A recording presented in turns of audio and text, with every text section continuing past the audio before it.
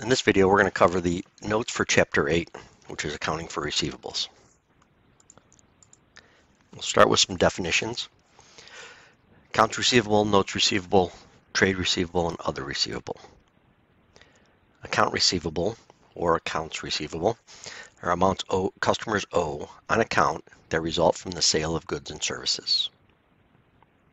A note receivable is a written promise for amounts to be received normally requires the collection of interest. A trade receivable is simply the notes and accounts receivable that result from sales transactions. So generically, they're grouping them together and say they're trade receivables because they were uh, a result of a sales transaction. And finally, other receivable. It's non-trade receivables such as, such as interest, loans to officers, advances to employees, income taxes. Those are all examples of receivables that a company might have, but they're not um, from selling goods or services. It's not part of their normal business. It just comes about. We've seen a lot of this in previous chapters again, but we'll re review it. Company sold merchandise from an account for $5,000. Terms 210 net 30. Customer returns $500 worth of merchandise after two days and pays the amount due on day eight. So to record the sale, we debit accounts receivable, credit sales revenue for the $5,000. On the return, we debit the contra account sales returns and allowances, credit accounts receivable, $500. So accounts receivable decreases because the customer no longer owes that amount. Third one here, we're going to record the receipt of payment. So it was paid on day eight, which is less than the 10 required to get the discount. So they received the discount. We're going to credit accounts receivable for the full amount due, which is 4,500. That's the original amount due from the sale minus the return. So 4,500 is what's left. We're going to debit sales discount. Sales discount is 2% of what's due. So 4,500 times 2%. That is $90. And then we're going to receive cash. The cash we receive is the difference between what is due and the sales discount. In this example, we're receiving $4,410. So again, we've seen all of those in previous chapters. Um, we're focusing on the accounts receivable in chapter 8 and, and seeing how that balance changes um, more than doing the sales. But as we said many times, this accounting is cumulative. You learn a little bit of one thing, you're going to learn some other things, and we're just going to repeat some items. So that's what we're doing here in this chapter. Now we'll get into valuing accounts receivable. So this is new. We haven't seen this before this chapter. A couple methods that we look at, direct write-off method and the allowance method. The direct write-off method is a non-GAAP method of accounting for uncollectibles that involves expensing accounts at the time they are determined to be uncollectible. So remember, when you issue credit or you are issuing credit when you sell something on account, you're taking a risk that that customer may not be able to pay the full amount due when it's due. Sometimes that risk comes to fruition and you have to write off accounts or determine that you're not going to be collecting that account and then you take it to expense. So the direct write-off method is saying once you determine that's not collectible, you just take it to expense at that. Again, that's a non-GAAP method. So if you're following GAAP, you can't use it. You have to use the allowance method, which is a GAAP method of accounting for uncollectibles that involves estimating uncollectible accounts at the end of each period. So they look at your accounts receivable. You have uh, a determination, predetermined amount of percentage, usually of receivables that you don't think are going to be collected.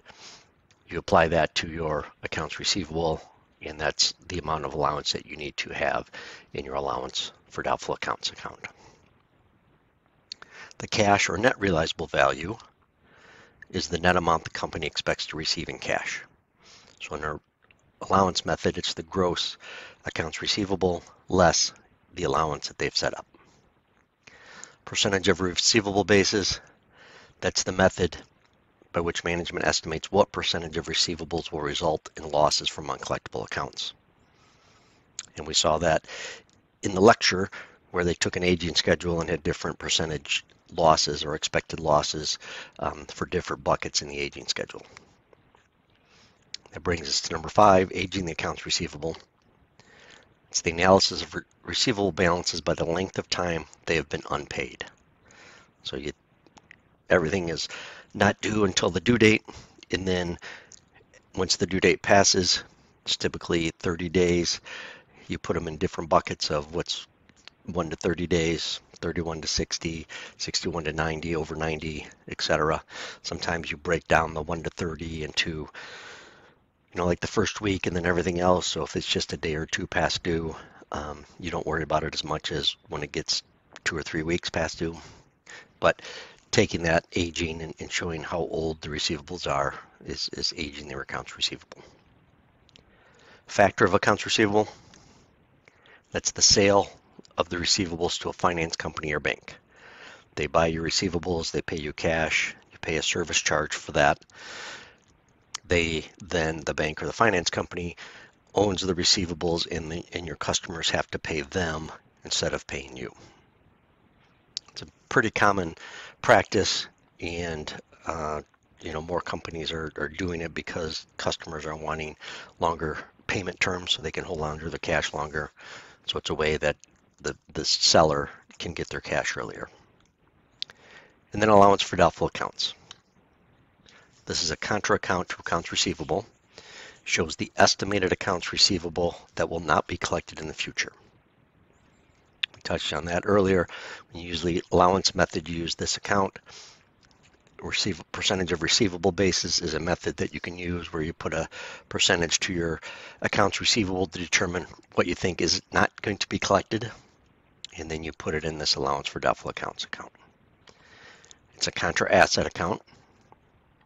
It's got a normal credit balance. Remember, contra accounts have a normal balance different or opposite of what the account they're contra to. So this is contra to accounts receivable. Accounts receivable has a normal debit balance. This contra account has a normal credit balance. And it's on the balance sheet, goes in current assets with the um, accounts receivable. Now we'll look at how you actually do these write-off methods, the direct write-off method and the allowance method. The direct write-off method, again, it's a non-GAAP measure, but it's important to understand how it's done. And how is it done? Direct expense of the account. When you determine something is uncollectible, that's when it's done. When you determine an account is uncollectible, you directly expense it the journal entry, uh, what that looks like is a debit to bad debt expense and a credit to accounts receivable. So you remove the accounts receivable from your books, your customer isn't going to pay you, and you take it to expense, bad debt expense. The allowance method, it's an estimate of accounts receivables that will be uncollectible. So we've talked about the percentage of receivables method. It's a common method where you look at the aging and put a percentage based on history and pay, based on credit risk um, of, of your customers to determine how much is uncollectible. There are other methods that you can use to estimate. Um, the important thing is that you're consistent period to period, year to year on how on that method. When is it done? It's at the end of the accounting period or year end. So if you're producing financial statements throughout the year, like on the quarter, half year, you might do it then, but then definitely at the year end, you look at what the receivables are and, and you make an adjustment. What does the journal entry look like when the amount is estimated? It's a debit to bad debt expense. So the same expense account that we saw in the direct write-off method. But instead of reducing our accounts receivable directly, we use this contra account allowance for doubtful accounts and credit. It has the same idea of the direct write-off method in that it lowers the realizable value of the accounts receivable, but with the allowance method, at the time you make this entry when it's estimated, you don't know for sure which accounts are not going to be collected. You haven't identified specific accounts yet, where in the direct write-off method you have. So what happens when you do identify an account that's going to be uncollectible under the allowance method? We don't take the expense because we did that already with the estimate, but we reduce our allowance for doubtful accounts with the debit. And just like in the direct write-off method, we reduce our accounts receivable because that's not going to get paid by the customer. Using the allowance method, the amount of net receivables immediately before this write-off and immediately after is, stays the same because you're reducing the allowance and you're re reducing the same amount of receivables. And that's what you're trying to do is show what you believe is going to be the actual cash that comes into the, into the company. So if you write off an account to that allowance, it doesn't change that amount of cash coming in.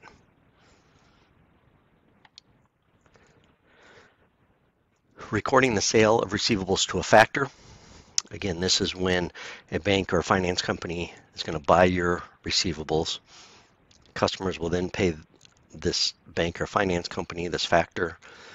You get your cash earlier and you pay a service charge. So we debit cash, we credit the service charge expense, or debit the service charge expense, and credit accounts receivable. The accounts receivable credit is the amount of receivables you're selling. So if you're selling $500,000 of receivables, you would take that full amount off your books. That's the amount that the factor will receive from the customers. The amount of cash the company receives is going to be less than that because of the service charge. Service charge is the amount of receivables sold times the service charge percentage that equals the service charge expense.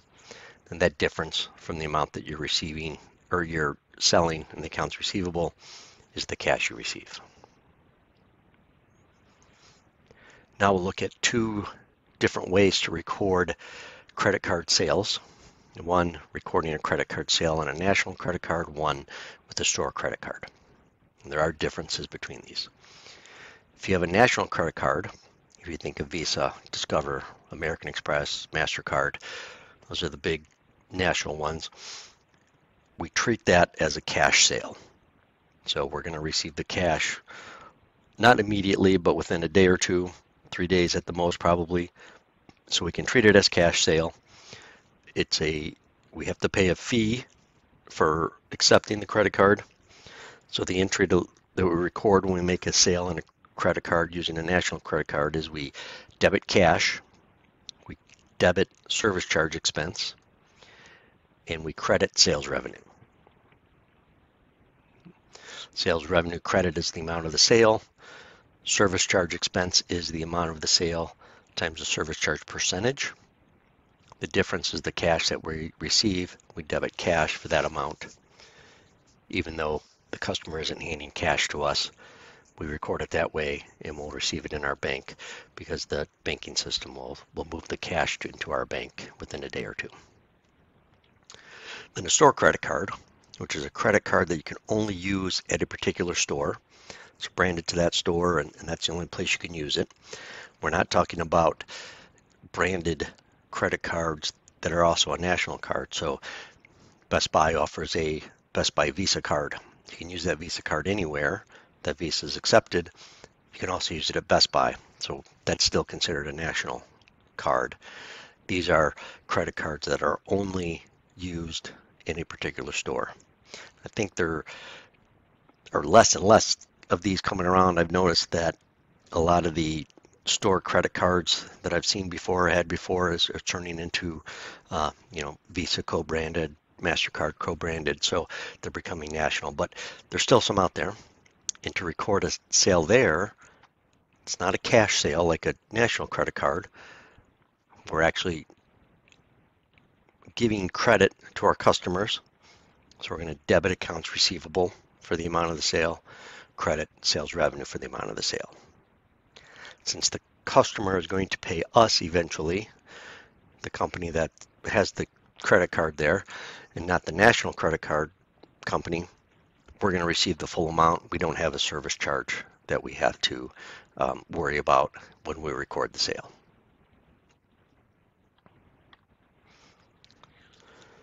Looking at notes receivable,